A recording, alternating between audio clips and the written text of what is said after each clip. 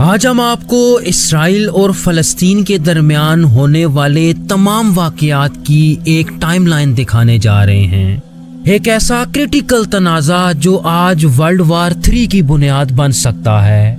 चुनाचे आज की वीडियो में हम खास तौर पे देखेंगे कि पहली जंग अजीम के बाद यहूदियों को फ़लस्तीन आने की इजाज़त कैसे मिली। फ़लस्तीन आने के बाद यहूदी इस सरजमीन पे इसराइल की बुनियाद रखने में कैसे कामयाब हुए? अरबों और इसराइलियों के दरमियान कौन सी अहम जंगें हुई और हमास का जन्म कैसे हुआ? व्यूअर्स, मैं हूँ एहतशाम अरशद और आप देख रहे हैं द इंफोटेनमेंट चैनल। व्यूअर्स, इस तनाज़े को समझने के लिए हमें पहली जंग अजीम पे आना पड़ेगा। जिसमें एक तरफ़ अलाइड पावर्स जिनमें फ्रांस यूनाइटेड किंगडम रशिया और यूनाइटेड स्टेट्स शामिल थे, जबकि दूसरी तरफ़ सेंट्रल पावर्स थीं, जिनमें जर्मनी उस्मानी सल्तनत ऑस्ट्रिया और बुल्गारिया वगैरह शामिल थे। सन 1914 में जब इस जंग का आगाज़ हुआ तो फलस्तीन उस वक्त मुकम्मल तौर पे उस्मानियों के जेर कंट्रोल था। जिसके हुक्मरान उस वक्त के उस्मानी सुल्तान मोहम्मद फाइव थे। उस्मानी सलातीन ने अपने खात्मे तक हज़रत उमर फारूक रज़ी अल्लाह के किए गए उस माहे की पासदारी की, जिसकी रूह से यहूदियों को फलस्तीन में जगह लेने की इजाज़त ना थी। लेकिन अब ये माहा ख़त्म होने वाला था। उस्मानी सल्तनत ने इस जंग में छलांग तो लगा दी, लेकिन ये सुल्तान सुलेमान द मैग्निफिसेंट वाली सल्तनत ना थी। बल्कि उन दिनों उस्मानी सल्तनत हर लिहाज से जवाल का शिकार थी। दूसरी तरफ़ अलाइट पावर्स खासी मज़बूत और चालाक नज़र आ रही थीं। इनमें उस वक्त की सुपर पावर बरतानिया भी शामिल थी, जिसके बादशाह किंग जॉर्ज थे। चूँकि बरतानिया को पहली जंग अजीम में सपोर्ट चाहिए थी तो बरतानवी हुक्मरानों ने बहुत चालाकी से तीन तरह के मुआदे किए। उनका पहला मुआदा अरब के शरीफ मक्का हुसैन इबन अली से था।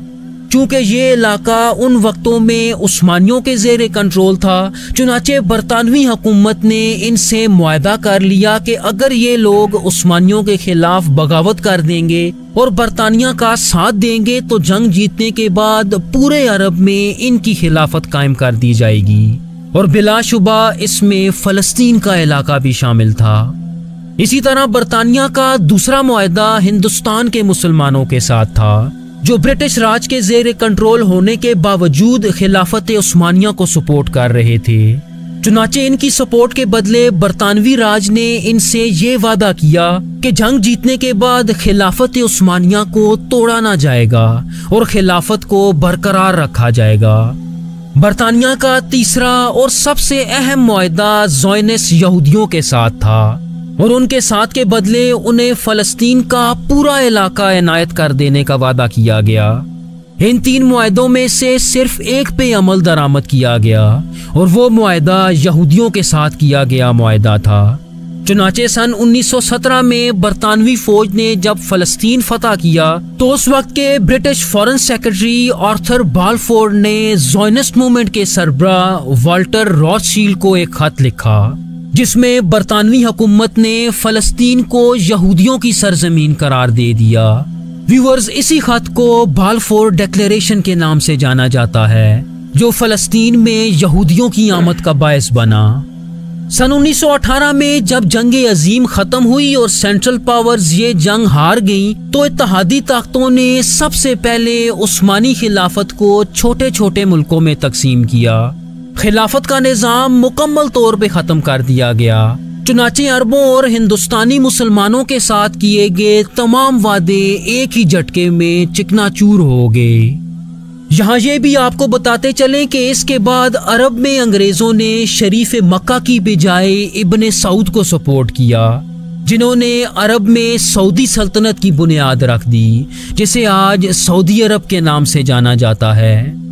सन उन्नीस में दूसरी जंग अजीम के बाद होलोकॉस्ट से बच जाने वाले सत्तर हज़ार यहूदियों ने फलस्तीन का रुख किया, जिससे मकामी अरबों और इन नए आने वाले यहूदी सेटलर्स में एक तसादम शुरू हो गया। बरतानवी प्राइम मिनिस्टर क्लेमेंट एटले ने इन हालात के पेश नज़र फलस्तीन से मुकम्मल तौर पर निकलने का फैसला किया और इनका मामला अकवाम मुतहदा यानी यूनाइटेड नेशंस के सामने रख दिया। चुनाचे यूनाइटेड नेशंस ने इस इलाके को दो रियासतों, यानी फ़लस्तीन और इसराइल में तकसीम करने की तजवीज़ दे दी। और जैसा कि आप मैप पे देख सकते हैं कि इस तजवीज़ के मुताबिक तकरीबन छप्पन फ़ीसद इलाका यहूदियों को, जबकि चौतालीस फ़ीसद फ़लस्तीनियों को देना था। और यरूशलेम का इलाका जो तीनों इब्राहिमी मजाहब, यानी इस्लाम, क्रिश्चियनिटी और यहूदियत के लिए अहम था, इस इलाके को यूनाइटेड नेशंस के जेर कंट्रोल रखा गया।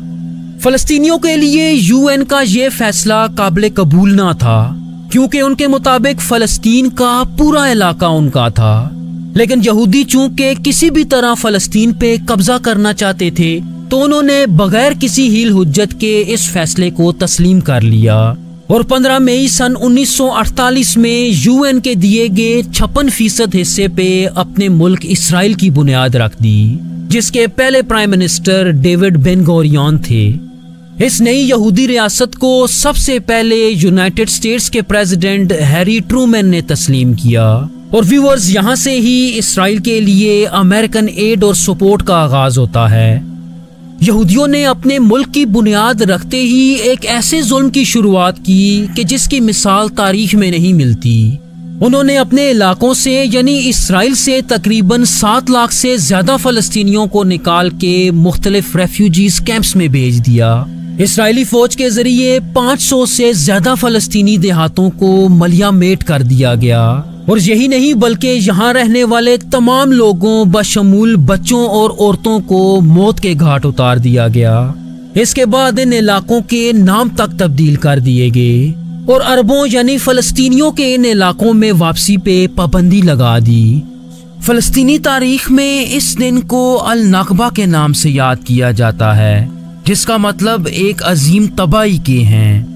इसराइल की तरफ़ से फलस्तीनियों के इस जेनोसाइड के नतीजे में पहली अरब इसराइल जंग का आगाज़ हुआ। पड़ोस की अरब रियासतें, जिनमें इजिप्ट के बादशाह फारूक वन, सऊदी अरब के बादशाह अब्दुल अज़ीज़ और उर्दन के बादशाह अब्दुल्ला ने एक इत्तेहाद बना लिया और अपने फलस्तीनी भाइयों की मदद के लिए इसराइल पे चढ़ दौड़े। और व्यूवर्स यहाँ आपको बताते चलें कि इन तमाम ममालिक में सिर्फ़ मिस्र के पास एक मज़बूत फिजाइया मौजूद थी। जिसने इसराइल पे बहुत कारी जरब लगाई। अरबों के इस हमले के नतीजे में उर्दन ने वेस्ट बैंक यानी यूरोशलम और मिस्री फौज ने गजा के इलाके का कंट्रोल संभाल लिया। लेकिन व्यूवर्स, इस जंग में असल कामयाबी तो इसराइल को मिली थी। Israeli prime minister David Ben Gurion और उनके अंडर मिलिट्री और सियासी क्यादत ने भी कमाल की प्लानिंग की। इसराइल जो के पहले छप्पन फ़ीसद इलाका कंट्रोल कर रहा था, इस जंग के बाद अब अठहत्तर फ़ीसद से ज़्यादा इलाके पे कब्जा कर चुका था। ये जंग सन उन्नीस सौ उनचास तक जारी रही। ताहम जंग के खात्मे के बाद भी अरब और इसराइलियों के दरमियान ताल्लुकात ज़्यादा अच्छे न थे। चुनाचे यहूदियों और मुसलमानों के दरमियान अगला बड़ा मार्का उन्नीस की छह रोजा जंग थी। कि जब सिर्फ़ छह दिनों में इसराइल ने अरबों पे वो जरब लगाई कि जिसे आज तक याद किया जाता है। 14 मई सन उन्नीस में मिस्र के सदर जमाल अब्दुल नासिर ने इसराइली मुजालिम के खिलाफ अपनी अफवाज को सराय सीना में जमा करना शुरू किया। इसके कुछ दिनों बाद उर्दन के बादशाह शाह हुसैन ने मिस्र के साथ एक दिफाई मुआदा किया और अपनी पूरी फौज को मिस्र की कमान में दे दिया। जहाँ तक सऊदी अरब की बात है तो किंग फैसल ने बीस हज़ार सऊदी फौजियों को उर्दन के महाज की तरफ़ भेजा। व्यूअर्स अरब इतिहाद में इस दफ़ा एक ऐसी ताकत भी शामिल थी कि जिसने इसराइली एयरफोर्स को लोहे के चने चबवा दिए। इस दफ़ा अरब फौज में पाकिस्तान एयरफोर्स के पायलट्स भी शामिल थे। पाकिस्तान एयरफोर्स के सरबरा नूर खान ने सदर अयूब खान के हुक्म पर तकरीबन पंद्रह पायलट्स इस जंग में भेजे। इन पायलट्स में कैप्टन सत्तार अलवी और सैफुल आज़म सर फहरस्त हैं, जिन्होंने कई इसराइली तैयारे मार गिराए। दूसरी तरफ़ इसराइल के उस वक्त के प्राइम मिनिस्टर लेवी इश्कोल थे, जिन्होंने अपने लोगों के साथ मिलके एक ऐसी प्लानिंग की कि जो अरब इत्तेहाद को बहुत महँगी पड़ी। इसे मिस्री एयरफोर्स की कमकली कहा जाए या ट्रेनिंग की कमी क्योंकि इसराइली एयरफोर्स ने पूरी की पूरी मिस्री एयरफोर्स को ज़मीन पे ही तबाह कर दिया और इसराइली एयरफोर्स को फिजाई बलादस्ती या एयर सुप्रीमेसी मिल गई। यानी अब मिस्री आसमानों में इसराइली जहाजों का मुकाबला करने वाला कोई ना था। इसके बाद इसराइली ग्राउंड फोर्सेस ने मिस्रियों के सराय सीना और गाजा के भी पूरे इलाके पे कब्जा कर लिया। दूसरी तरफ़ इसराइली फौज ने शाम से गोलान हाइट्स और उर्दन से वेस्ट बैंक का भी पूरा इलाका छीन लिया था। इसराइली फौज की इन फतुहात की बदौलत अब फलस्तीन का पूरा इलाका इसराइल के जेर कंट्रोल आ चुका था। व्यूवर्स, यहाँ आपको ये भी बताते चलें कि छह रोजा इस जंग के बाद फलस्तीनियों को काफ़ी हद तक यकीन हो चुका था कि यहूद को इस इलाके से मुकम्मल तौर पर निकालना अब अरबों के बस की बात ना थी। चुनाचे उन्होंने खुद अपनी जदोजहद का आगाज़ किया, जिसके नतीजे में पीएलओ यानी पैलेस्टाइन लिबरेशन ऑर्गेनाइजेशन की बुनियाद रखी गई, जिसके पहले चेयरमैन अहमद सुकेरी थे। इस ऑर्गेनाइजेशन का बुनियादी मकसद किसी भी कीमत पर इसराइलियों को फलस्तीन की सरजमीन से बाहर निकालना था। चुनाचे पीएलओ ने इसराइलियों के खिलाफ ऐलान जंग कर दिया। लेकिन फिर कई वजूहत की बिना पे पी एल ओ भी फलस्तीन की सरजमीन को दो हिस्सों में तकसीम करने पे रजामंद हो गई, जिसके नतीजे में मजीद यहूदी सेटलर्स ने फलस्तीन का रुख किया। इन सब हालात में पहले इंतफादा का आगाज़ हुआ, जिसमें आम फलस्तीनी मैदान में आ गए और गजा और वेस्ट बैंक में इसराइलियों के खिलाफ मुजाहरों का एक सिलसिला शुरू हुआ, जो तकरीबन चार साल तक जारी रहा। इन मुजाहरों के नतीजे में सन उन्नीस सौ सतासी में अहमद यासीन ने हमास की बुनियाद रख दी, जिसका मकसद गजा और वेस्ट बैंक में इसराइलियों के खिलाफ जिहाद करना था। फलस्तीनियों और इसराइलियों की इस जंग के खात्मे के लिए अमेरिकन भी सामने आ गए। अमेरिकन प्रेसिडेंट बिल क्लिंटन ने पीएलओ के तीसरे चेयरमैन यासर अराफात और इसराइली प्राइम मिनिस्टर रेबिन के दरमियान पहला ओस्लो मुआदा सन उन्नीस सौ तिरानवे और दूसरा सन उन्नीस में कराया। इन मुआदों के मुताबिक फलस्तीनियों के इलाकों यानी गाजा और वेस्ट बैंक को तीन हिस्सों में तकसीम कर देना था। एरिया ए वो इलाका था जो मुकम्मल तौर पे फलस्तीनियों के जेर कंट्रोल था। जो कि आप मैप में सफ़ेद इलाका देख सकते हैं। एरिया बी वो इलाका था जो फलस्तीनियों और इसराइलियों के मुश्तरका कंट्रोल में होना था, जो कि मैप में सबज रंग का इलाका दिखाया गया है। और एरिया सी मुकम्मल तौर पे इसराइलियों के जेर कंट्रोल होना था, जो कि मैप में नीले रंग से नुमाया किया गया है। लेकिन इस मुआदे से फलस्तीनियों के साथ एक बहुत बड़ा धोखा होता नज़र आ रहा था। क्योंकि एरिया सी, जो कि मुकम्मल तौर पे इसराइलियों के जेर कंट्रोल था, ये सारा इलाका जरखेज था और सारा पानी और रिसोर्सेज भी इसी इलाके में थे।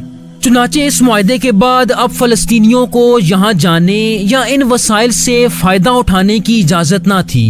चुनाचे फलस्तीनियों ने दोबारा एहतजाज शुरू कर दिया। जिसके नतीजे में दूसरे इंतफादा का आगाज़ हुआ और आम फलस्तीनियों ने पत्थरों और गुलेलों से लड़ना शुरू कर दिया। इस एहतजाज के नतीजे में इसराइल ने फलस्तीनी इलाकों के गिर्द एक दीवार बनाना शुरू कर दी, जिससे फलस्तीनियों की नकल हरकत को कंट्रोल किया जाने लगा। व्यूअर्स, ये दीवार बनाने के बाद अब फलस्तीनियों का इलाका दुनिया की सबसे बड़ी जेल बन चुका है।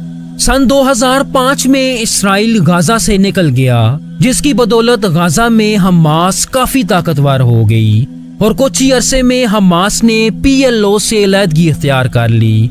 तो यूँ अब वेस्ट बैंक में पीएलओ, जबकि गाजा में हमास का कंट्रोल था। सन 2017 में जब गाजा में हमास का असर सूख हद से ज़्यादा बढ़ने लगा तो इसराइल ने गाजा की नाकाबंदी कर दी। और इस इलाके में जमीनी, हवाई और समुद्री नकलो हरकत पे पाबंदी आयद कर दी। इस नाकाबंदी के बाद गाजा का इलाका मुकम्मल तौर पे बाहर की दुनिया से कट चुका था, जिसके बाद इसराइल की तरफ़ से इस इलाके पे वक्तन फवक्तन बमबारी भी की जाती और हर दफ़ा सैकड़ों फलस्तीनियों को शहीद कर दिया जाता।